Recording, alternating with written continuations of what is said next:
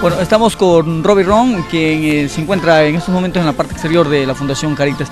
Primeramente, eh, cuéntame, ¿cómo nace la, idea de poder eh, compartir con, los niños más desprotegidos de la ciudad?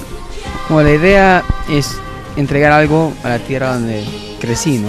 Este, gracias a Dios hemos tenido diferentes oportunidades nosotros y hemos emigrado a otro país y bueno, tenemos diferentes sistema económico y gracias a eso tenemos un poquito más de ingresos que otras personas acá.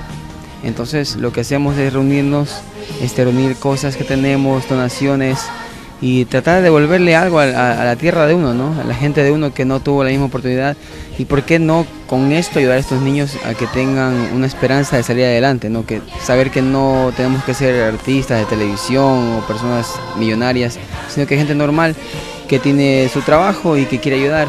Entonces cosas que ellos se den cuenta que todavía hay gente buena en el mundo, ¿no? que tienen una esperanza más para que ellos puedan salir adelante. ¿Desde hace qué tiempo ya se viene cumpliendo con esa tradición? Estamos entre cuatro y tres años que se viene haciendo. Lo que hemos tratado de hacer ahora es este, tratar de hacerlo más seguido.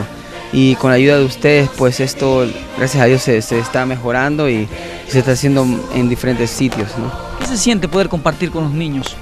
Ah, no, eso es un, una cosa que no, eh, no, se puede describir, pero es una alegría desde adentro, ¿no? una felicidad, una paz de poder haber cumplido, no solo con los niños, sino con gente que de verdad quiere hacer lo mismo, pero no tiene la posibilidad de viajar. Entonces, que ellos por medio de estos videos vean que los regalos se entregan a esas personas, a personas que de verdad necesitan un regalito por ejemplo, mis propios hijos que tienen más de un regalito, ¿no? más de un juguete, que ellos vean que hay otros niños que necesitan solo un juguete para estar felices. Entonces, eso yo sé que a todos nos va a tocar y, nos va a ayudar a, crecer. ¿Qué mensaje le da a todos los niños de, de Santo Domingo y del Ecuador?